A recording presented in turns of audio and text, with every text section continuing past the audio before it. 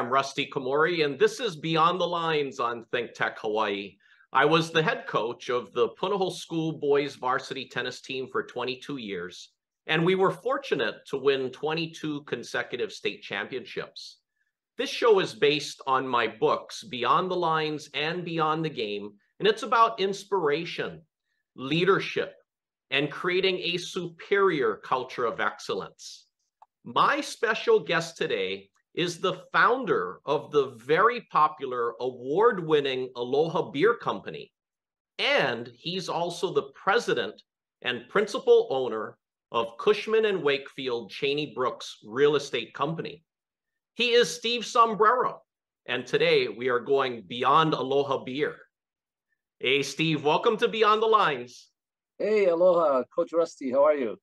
Steve, you have been making such a big positive impact in our community, and you have such a great personality. You have one of the best smiles and the best laughs that that, and I'm so happy that we're friends. But Steve, I want to ask you about your family. I mean, you have such an incredible family. Your your wife Takako, your son Kyle, who works with you at your real estate company, your daughter Candace, who is the director of marketing and development at Aloha Beer, and her husband Yusuke, your son-in-law, who is the COO of Aloha Beer. I mean, it's such a great family affair, right?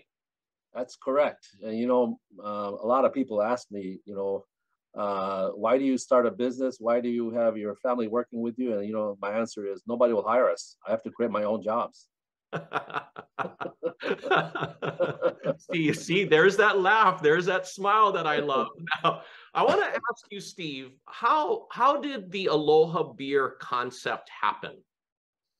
The Aloha Beer concept uh, actually was a project at my executive MBA uh, program. Um, I was at the EMBA program, EMBA number eight, at the University of Hawaii, in, uh, and in 1993, I was asked to, we were all asked to write a business plan for a business concept uh, that isn't in Hawaii but should be. And so, you know, I had just moved to Hawaii uh, in 1991. I didn't know too much. So I said, what am I going to write about? Right. So, like most people do, they go to the nearest bar. And I went to the Mai Tai bar in, in Waikiki. So I, I sat there and I said, boy, what am I going to write about? And so I was observing uh, the entire time. A customer would walk up uh, into the uh, Mai Tai bar, and the waiter will say, Aloha. And a customer will say, Oh, oh biru. You know, it's typically Japanese or Asian, and the biru. So, okay. And then the waiter would bring him a, a bottle of Budweiser. And this kept happening over and over again. Aloha, oh, oh, biru. And he gets a Budweiser. I said, wait a minute, there's something wrong with this picture. Hawaii doesn't have its own beer right? This is back in 1993. I said, okay, I'm gonna write a business plan for a, a beer for Hawaii. And uh, because, you know, if you go to Japan, there's Kirin, Sapporo, Asahi. If you go to the Philippines, there's San Miguel and Tsingtao, you know, and on and on and on, right? So I said, okay, Hawaii has to have its own beer with this many visitors coming to the island. It's a shame that they cannot drink our own beer. So, uh, and I said, what would I call it? And it was Aloha Biru. Aloha Biru. And sure enough, that was the name I gave it. And uh, I said, I need to do some research. There was a beer called Pronto. We don't want to make the same mistakes. So I researched about Pronto and I learned that it tried to come back. But by the time it tried to come back, the, the new generation didn't know what Pronto meant. It wasn't even Hawaiian, as you know. It's It sounds uh, Latin. Uh, so Italian. And so uh, I said, Aloha Beer is a perfect name. So I wrote a, business plan. My professor gave me a double A, and he said, Steve, this is such a great idea. Why don't you do it one day? And I said, okay. and so uh, I trademarked the name in 1994, uh, DCCA, and I worked towards global trademarking. And I said, I'll do it one day. And then uh, I did one of my big real estate transactions. It was the Don Quijote deal when I first moved into Hawaii and I had money available. So I asked my wife, I said, hey, um, I'm thinking about executing on my business plan. Do you, do you approve? And she said, why don't you ask Pastor Wayne first? Because we go to church at New Hope Church, right? said, we want to make sure it's okay for you to be in the liquor business. So I reached out to Pastor Wayne and I said, hey, Pastor Wayne, I'm about to start uh, a new business. It's going to be in the beer and liquor business. Uh, we need to know that it's okay for me to be in it. And he goes, okay, but before I can give an answer, can I try your beer first? So he tried my beer and he said, okay, I approve. Steve, so that's I, the story. I, I love hearing that story. I mean, it, it is so amazing how you figured that out in college and then you executed it years later. And I want to congratulate you on winning the 2023 Ilima Award for the best brewery. I mean, it is absolutely awesome. I mean, what how does that make you feel? Oh, just wonderful. You know, and I know it's not about me. It's about my team, my managers, my daughter Candice and Yusuke that have been leading it, and our brewmaster Jeff, and all the managers there and all the staff. You know, and, and they made it happen. It's it's I was just there drinking the beer and tasting the beer and and and paying the bills, but they did all the work and they deserve all the credit. So Steve, can we do a toast right now Absolutely. to celebrate um, your winning the Ilima Award and just the, the, spreading of Aloha beer? Uh, so yes. really, cheers to you, Steve. Yes, thank you. And that's a blonde you're drinking, right? One of, one, one of my favorites is your Aloha Beer Blonde Ale.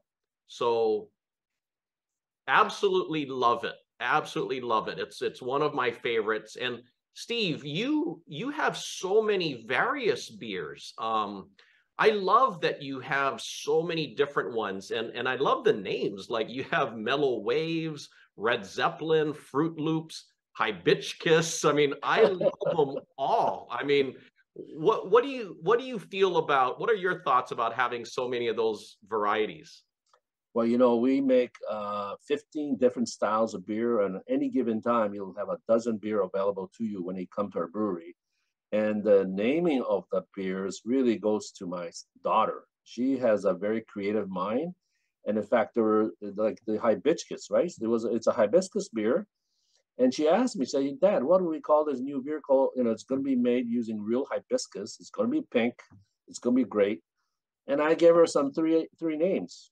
And so I go to the brewery and I said, so did you choose which one out of the three I gave you? And she goes, uh, actually, we decided to call it hibiscus. I said, what? Hibiscus? That's not even proper. He said, okay. She goes, yeah, no, don't worry. We asked all the women that work here, the waitresses, and they saw, they say it's a cool name. And sure enough, the name hibiscus has really caught people's attention and they try it and they decide it's a good beer. So um, my daughter has a very, very creative uh, a mind to come up with all these names.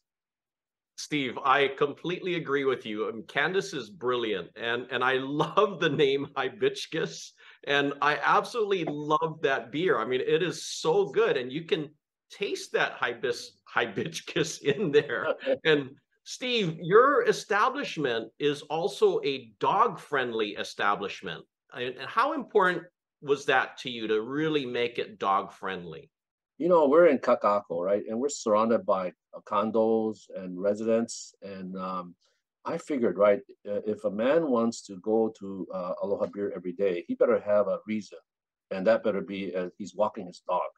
So people walk their dogs and they come by, have beer, and um, their wives don't yell at them because they're walking the dog. But in all honesty, I wanted to make Aloha Beer a very dog friendly place because uh, we have two dogs at home and we love pets. We love dogs. And I, I really think dogs are a gift from God. And, and you know, you want to hang out with them. And, if, and so when you come to Aloha Beer, we actually have a dog menu that you can pick from. And, um, and we also have uh, uh, you know, uh, Aloha Beer logo uh, products for your dog. So if you come by Aloha Beer, you'll realize that, boy, this place is really the most dog-friendly place in Honolulu. Well, and Steve, you know, it's no accident that dog spelled backwards is God. That's and true. I completely feel the way you feel. And when I'm with you at, at Aloha Beer Company, I mean, we love what, looking at all the dogs that come in and everyone's so happy. The dogs are happy. The, the owners are happy. Everybody's so happy. I mean, it's such a great um, environment, such a great positive vibe that you've created there. Also, our, our workers, our, our staff, they're all happy to be there because they love dogs, you know, and who doesn't love, like dogs, right? Um, cats are welcome too, but you know, I'm I'm personally allergic to cats, so um, I'll probably keep a distance. In fact, we have a, a resident cat that lives under our purple house, and his his name is Hops. That's funny, Hops. and Steve, you're let's let's talk about your your Aloha Beer team, like you mentioned. I mean, they're they're they're so positive. They're such a great group. I mean they're they're so happy to be there. You've created a culture of excellence um, with your team members. What what does aloha the letters aloha really truly mean to you uh, you know when we interview people that want to work for aloha that's the first thing we ask what does aloha mean to you because you know we're we're uh, using the probably the most sacred name in the hawaiian language and so I want to make sure we, we respect it and we honor it and that everything we do is respectable. And it, it's, it's a great uh, representation of Hawaii. And so that's a, one of the first questions we ask all our employees, what is Aloha? So if you ask me, uh, what is Aloha? You know, it's really, I break it down into the acronyms. So a is to acknowledge. You know, you need to acknowledge the person in front of you, uh, whether it's a customer, whether it's an employee, whether it's your wife, whether it's your husband, acknowledge. That's the first thing. The next letter L is to listen. Listen very carefully what they're saying, right? And uh, they have something to tell you, and so you you you pause and you listen. And uh, O is to observe what they're saying and what their actions are, because if it matches, then they're speaking genuinely to you. And then H is to hold. Hold that that thoughtful moment and then A is to appreciate them and show appreciation by expressing your appreciation. And that's that's really aloha. It's acknowledging, listening, observing, holding, and um, appreciating. That is aloha to me. I, I think, Steve, that's going to have to be aloha for everybody. And Steve, you met the sumo grand champion, and I mean, it, what a great, I mean, meeting that must have been. And your your beers, the Aloha beers, are spreading throughout Japan as well, right? That's correct. You know, our mission is to spread the Aloha spirit, one bottle, one pint, one can at a time. You know, as they say in Hawaii, right? If if can, can, and I say if can, can. If no can, we have bottles and pints also. But So we spread aloha all over the world, one can, one bottle at a time. And I tell you, I just came back from a trip to Italy and they heard that I was a, an owner of Aloha Beer Company. Man, they were just embracing me and they're like, I want to go to Hawaii. I want to go to your brewery and I want to drink beer with you. And I said, sure, come. So I, I am the ambassador of Aloha through the Aloha Beer Company. Steve, one of my favorite things to do is to be with you drinking beers at Aloha Beer Company because the next day my cheeks are sore. I mean, I'm we laugh so much that my cheeks are sore. And I'm thinking, what happened? Oh, I was with Steve. and Steve, you you have both of my books. Um, I want to ask you what how what did you like about the books? you know, I love both books. And, um, you know, the first chapters of each book, right? The first chapter of uh, um, Beyond the Lines, in fact, I have it right here, okay, is the choice is yours. You know, that is a very, very important thought because we actually have a choice to not read the book, but we read because, you know, it's a great start. And if you really ask yourself, um, a lot of people that that fight with uh, you know anxiety, uh, depression, they don't understand that they have a choice to get out of it, right? And life is not nothing but uh, a series of choices we make throughout our life. And then the first chapter uh, in your other book, Beyond the Game, is make an impact, right? So if we choose and we have a choice to make an impact, I think you'll be living in a pretty amazing life. And, and and you know and you know I've always wondered why did you call the first book Beyond the Lines? Because I one of the things that I asked is you know if if Rusty is a uh, uh, a coach teaching tennis, wouldn't you be teaching to hit within the line and not beyond the line? Because beyond the line is a fault, right? but then when you look at your your your cover, it shows that the uh, ball is just enough that it's about to go beyond the line, but it's in, still in the line. And so I said, okay, that that's what it is. It's pretty profound. And then when I and I think about you know all the the words, the terminologies in in in, in tennis, right? It's when you get a you get the game started with what service, and uh, when you make a mistake, it's called a fault, and when you're tied, you're called a deuce, and then uh, when you're ahead, it's an advantage, right? It's, isn't that life? And then it's also love, right? The word love is in there. so I, I'm I really believe you're on to something there, uh, Coach Rusty, and I love your book. Every every chapter I read, it's almost a, a book that all MBA students should have read. And um, if they did, if we did, we'd probably become better leaders and better managers. Well, Steve, you're so kind. You you are my promoter.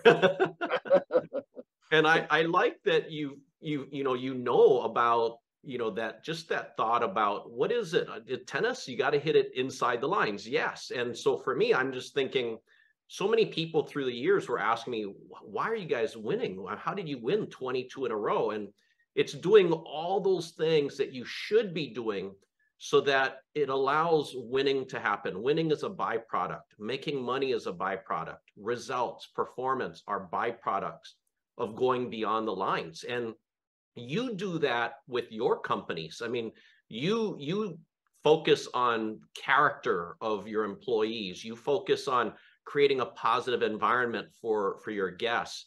You're always looking at creating win-win situations. And steve i want to ask you you're you're the president and principal owner of cushman and wakefield chaney brooks. Your executive team i mean they're absolutely brilliant why are you guys so successful?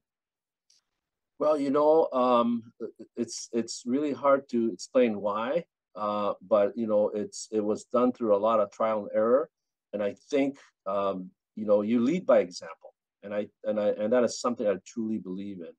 And you know, as as as you say in your book, right? We're all coaches. We have to be coaching our employees and um, doing our best to give them a good example.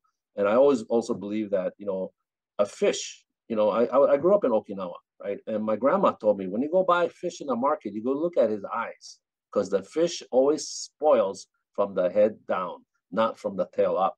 And so that I apply that in my in my business. The head is so important. I am the head. And if I am not, if I don't, if I don't make sure that I'm okay, the company is not going to be okay because the the fish, the company always spoils from the head down. And then if you have a problem, if you have a if you if you want to know really how how the character of the person, look at his eyes. I love the eyes. Look at I the love eyes. that. Yeah. and Steve, you you've um, consulted, you've worked with many other Fortune 500 companies, and you are a tremendous leader, and you've been around other incredible leaders what are some what are some things that you feel the greatest leaders do? You know uh, and I, that's, that's that's that's very true. I get to meet uh, and that's what i love about my business. I get to meet all kinds of people good people and bad people. And i learn from their successes and i learn from their mistakes. You know i have a, a several billionaire clients and i and i you know try to understand how they became so successful but at the same time I see that the more wealth they accumulate, it doesn't necessarily equate to happiness. In fact, I have some of the most um, miserable billionaire clients that, and and I think uh, Kawamoto, Genshiro Kawamoto was a billionaire client that was truly unhappy. He accumulated wealth. That's him right there. he accumulated wealth, and he accumulated uh, a bunch of houses in Kahala, and he basically trashed them. And so he became a problem. He was probably the most disliked uh, Japanese investor ever to come to Hawaii. And so um, I basically approached A&B, Alexander Baldwin, and said, hey, you know what? Uh, let's see if we can buy everything he owns.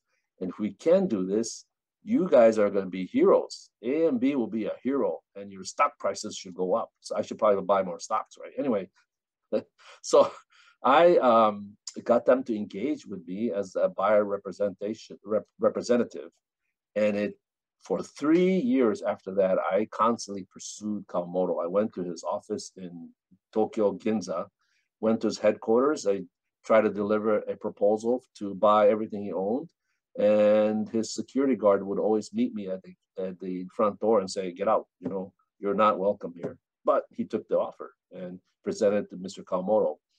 I did this for three years, hoping that I would one day get to meet him. And then the fourth year, he got arrested for tax evasion and the government took away his passport. And so he had no way to come back to hawaii. And so guess what? He calls me and say steve-san i'd like to meet with you. Uh, can you come to japan next week?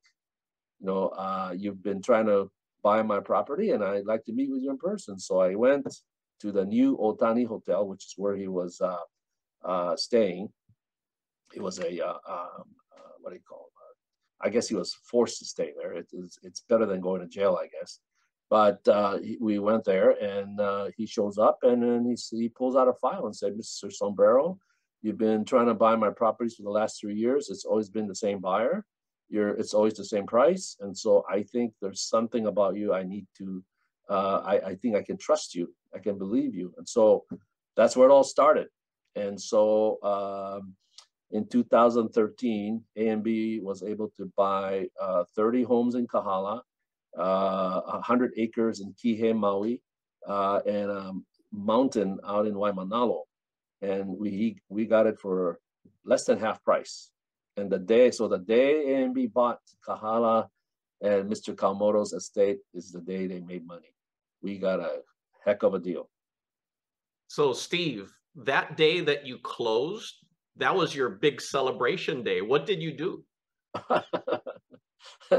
well, um, I actually went to his blue house. It's called a blue house. It's his biggest property. And if you recall, if anybody remembers what's going on, he had statues uh, put up in all his properties. He was allowing uh, people to move in for like one dollar rent, um, and uh, he was trashing the property and making it very uncomfortable for his neighbors. And so he was trying to buy more homes. And so the day I closed, I was so happy that we finally resolved and solved this problem. And so I went to uh, the Blue House and sat on a statue. And that's the statue right there. I sat on the lion statue. There were other statues available, but that's the one I liked. And I said, all right, this is it. It's a victory dance. And so I felt like I finally tamed the lion of Kahala. Wow, I mean that that's something I like seeing you on that statue. that you did tame the lion, and wow, you know, Steve, I remember seeing you know Kawamoto on the news because I mean he bought thirty luxury houses in Kahala, and then why why was he trashing it? You know, that's a question I asked him. I asked him, so Kawamoto-san, you know, why are you doing what you do in Hawaii? You're not really appreciated uh, and uh, why are you making it very, very uncomfortable and miserable for people, your neighbors? And he said this, he said, I came to Hawaii uh, with good intentions. Uh, like any investor, I came to buy real estate and, and make money on real estate. But then over the years, I met some really bad people. And so uh, I was uh, taken advantage of by some of the contractors, some of the professionals and advisors. And so I said, I can play the same game. And so he basically became an angry uh, or uh, not so happy investor trying to get more property and to make a point. And then he realized that every time he did something weird, the media would come to and him and interview him. And so I guess he re- thought that he was being rewarded for, for strange activities. And so that continued to escalate until finally it came to a point where, you know, we had to do something about it. Wow. I mean, that's interesting insights right there to see what the reason was behind his actions. I mean, and I mean, it was so bad because Kahala is our premier luxury neighborhood. And I have to say, all of Kahala, all of the people that that own homes there, they must be super thankful and super appreciative of you, right? Yes, uh, especially uh, Richard Turbin, right, the lawyer, the attorney. He uh, came to see me and he embraced me and said, "Man, Steve, you're a hero. We love you." and then um, I was uh, encouraged to uh, apply for membership at the Waialae Country Club, and uh, and and the reason why was because Waialae truly appreciated what I did to clean up the immediate area, and so in my interview, I can't believe I still can't remember this, uh, uh, uh believe this, but the um, the uh, membership committee all got up, gave me a standing ovation, and hugged me and said, "Thank you. We want you to be a member of Waialae." So that's why I became a member of Waialae. I was welcomed with open arms and and so you should be big time. I mean, talk about statues. They should have a statue of you in Kahala. And and Steve, you, I mean, it's unique what you do because you're not a typical real estate company. And what would you say are like three or four of the biggest transactions that you've closed? Well, um, you know, we did the biggest transaction during COVID, during the pandemic. Everything was shut down, and uh, I was able to sell the Waikiki Galleria Tower uh, for 270 million. Um, and then uh, after that, uh, very recently, actually this year, I was able to sell the uh, Ka'anapali Beach Hotel um, for more than 300 million. So these are mega deals, deals that um, realtors typically don't do, but these are more like investment banking deals. But um, you know, I, I go for the big one. I, am the big whale hunter because I know that when a whale is hunted, the whole village eats. you see all that wisdom that you have, Steve. Incredible. and Steve, I want to ask you when you reflect back on your life so far, what do you feel is a valuable lesson you learned?